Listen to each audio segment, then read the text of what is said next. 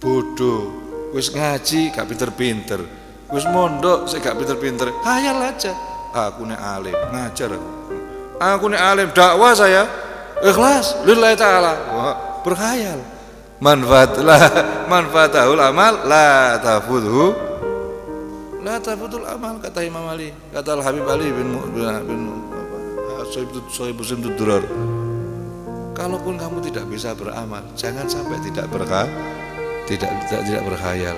Angan-angan saja bercita-cita. Siapa tahu terus Allah menyembah. Dan ingat cerita yang dulu. Zaman dulu ada ke kelaparan ada kelaparan ada satu orang jalan-jalan ya Allah nopo iki wong wong iki wetenge gendut awake kurus. Awake kurus wetenge gede-gede. Kelaparan Pak. Kelaparan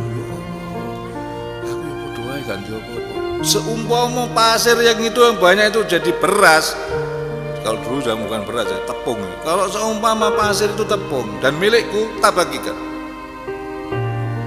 Tak bagikan pada orang-orang berkhayal berkah berkhayal langsung Allah menurunkan wahyu pada nabinya. Sampaikan pada musafir itu.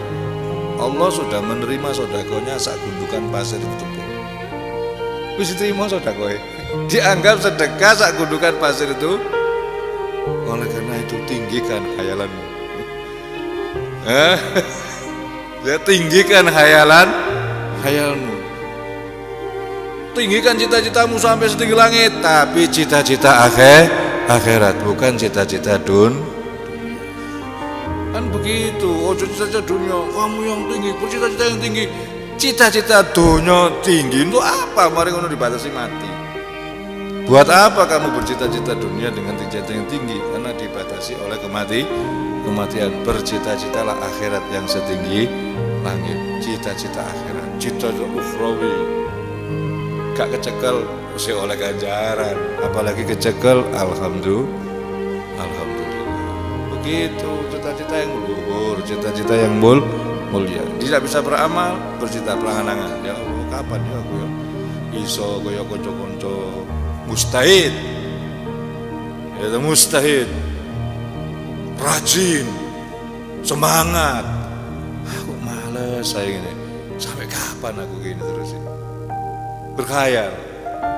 Kapan aku bisa tahajud? Kapan aku bisa bangun malam?